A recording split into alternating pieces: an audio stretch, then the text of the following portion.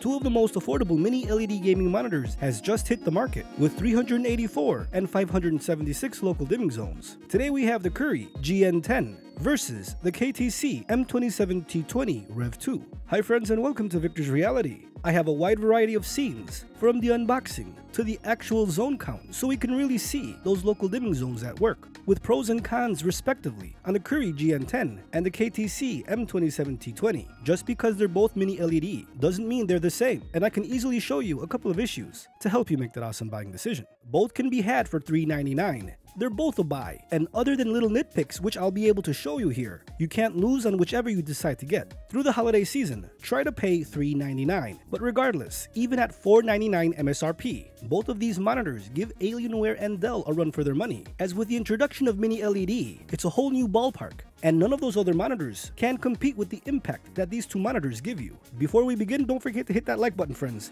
so more people can see it to help them make that awesome buying decision, and know what's out there, so they can save a ton of money. Consider subscribing if you want more information on both of these awesome monitors. We'll be showcasing a wide variety of Xbox and PlayStation 5 gaming, 4K with local dimming testing, once I show you how to update both of these monitors. We have here the Koorui GN10, a 27-inch 1440p 240Hz mini LED gaming monitor. Display HDR 1000 support for those amazing peak SDR and HDR highlights. With a 1 millisecond gray to gray response time, with 95% of the DCI-P3 color coverage, on the KTC, we have a 27-inch 165Hz 1440p mini LED gaming monitor with HDR 1000 support, also with a 1 millisecond gray to gray response time, but with 93% of the DCI-P3 color coverage, 2% less. Will you be able to notice? Let's find out today. Now the main reason why you're getting these specific mini LED monitors is the 384 zones on the Koorui, and on the KTC we have 576. But more doesn't necessarily mean better, while less doesn't mean it's not as bright. The unboxing was really straightforward. The packaging was sufficient. Everything was well taken care of, well protected. The monitor screens actually had protection in front, not like Samsung that doesn't do that. You do get a lot of value, especially at 399. Now the stands are a bit different, as you can see on the Koorui which is white, which will be on the left side of this video. It's just a different stand design. You can tilt, pivot, and swivel. It is height adjustable, the same as the KTC. But the stand looks different. I just think it looks really cool. While on the KTC, it looks a lot like the Cooler Master. Nothing special, but really minimalistic. It blends in easily with your desk, compared to the V-shape of the Koorui. Both have LEDs on the back of the monitor. Here we have the menu on both monitors. In the future, I will showcase each specific monitor, but since this is a versus video, I just wanted to put it up here, so you can get the most information when deciding which one to buy. On the KTC, you do need to update to get that HDR and local dimming to work at the same time. And for next generation consoles, I was able to get the 4K to work, so both accept the 4K signal acceptance, and of course the native 1440p, but the HDR with local dimming, you need to update the KTC to the newest firmware. And I'll bring that to you very soon. So don't let that be a deal breaker. The new firmware does fix it. And right now, I have not had any issues on either monitor. No black screens, no HDR issues other than the local dimming on the KTC. But if you want that information of next generation consoles on each monitor, wait for that video to 100% confirm. You can also check the description down below and in the comments as I will update this video in the future once more testing has been completed. Here I'm raising the ISO so you can better see. On the left, the Koorui has 384 zones, while on the right, the KTC has 576. And if we count the zones on the left, you can see 24 horizontal and 16 vertical. 24 times 16 equals 384.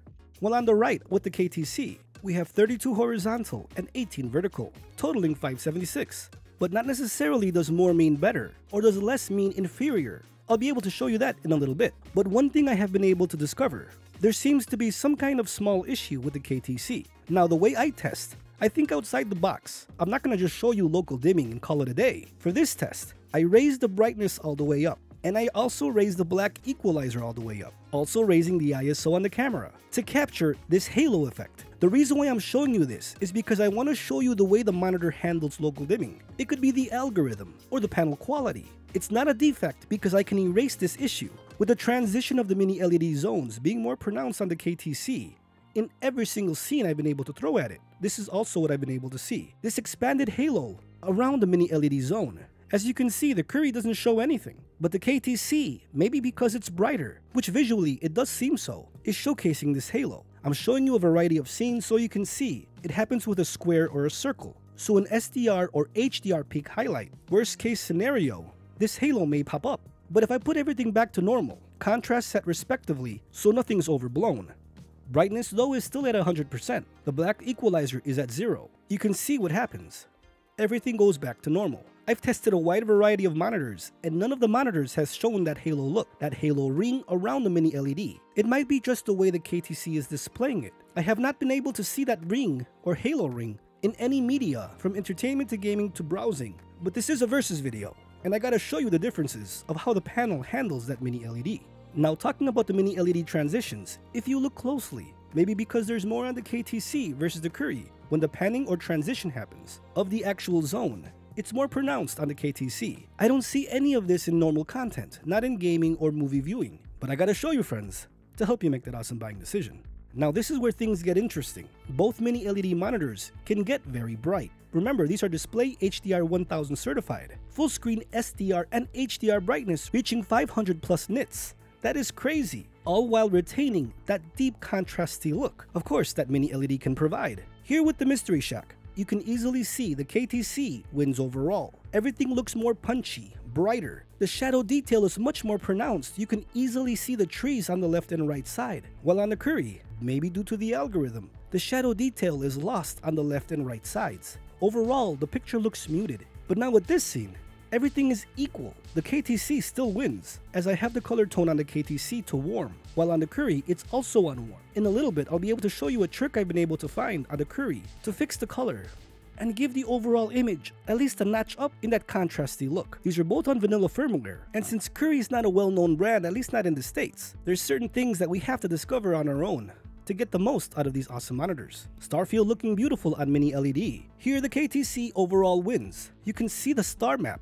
in the background more on the KTC, while the player's legs look much more vibrant. But the Koorui is showing a better SDR peak highlight with the fire from the rocket. These are the things I've been able to see. They both trade blows. Overall, the KTC to me is better, but just because the Koorui has 384 zones doesn't make it inferior, and sometimes surpasses the KTC, especially in a peak SDR highlight like this. This is another simple image showcasing that each zone count look very similar. One does not destroy the other. But if we move on to a trailer, say Star Wars, or the Starfield trailer, you can easily see here friends. I would say 90% of the time the KTC wins. Overall a brighter image, better peak highlights, but a lot of the time the Koorui, I would say 10% of the time, does exhibit a brighter SDR highlight, say like here on the watch. So it's things like this that really puzzle me. I've been able to see this in a variety of gaming. I honestly think you can't lose on whichever you decide to get. But I'll say it again friends, to me, the KTC overall has a brighter, fuller image. That 2% DCI-P3 color difference really can't be seen here. With this scary image of the classroom, the Koorui is showcasing a higher SDR peak highlight with the light from the door. But on the KTC, overall the image is brighter.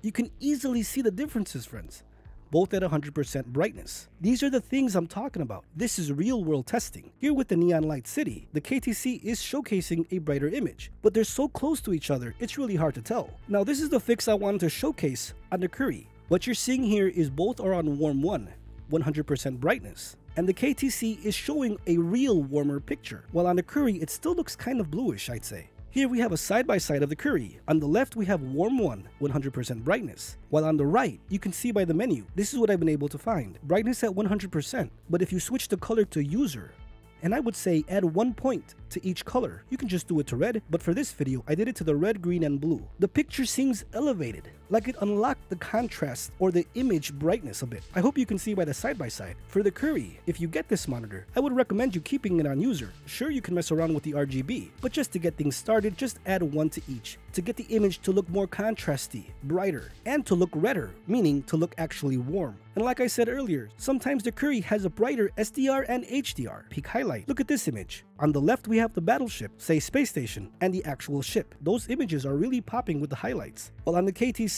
it's not really popping. It's bright, but the impact is not like the Koorui but I'm sure you can see what we're looking at. On the KTC, the overall background is elevated. The shadow detail is there. And that's what you need. You need to be able to see what the game is showcasing. While on the Koorui, the background is muted the peak highlights on the KTC are outstanding. Look how crazy bright that is. Everything is just popping out of the screen. Now sure, the Koorui is showcasing sometimes a brighter SDR impact highlight, but look at that KTC with that brightness. They really trade blows. It's sometimes on the left, sometimes on the right. Mortal Kombat 11 on the PC. The image looks better, brighter, much more impactful on the KTC. The only advantage I would say the Koorui has is the 240Hz. Friends, I make these versus videos to help you make that awesome buying decision. And in this specific video, I would say the KTC M27T20 is the better buy. But both of these monitors can be had for 399. The KTC to me is a better overall value, as after the update, HDR and local dimming will work perfectly. Today we showcase the Koorui GN10 versus the KTC M27T20, 384 versus 576 zones. I hope you found this video helpful friends. If you did find it helpful, please hit that like button so more people can see it to help them make that awesome buying decision. Consider subscribing if you want more information and future updates on each of these monitors. Affordable mini LED is finally here and they're ready to be showcased. Thanks for watching friends. Stay safe out there. I'll see you guys next time.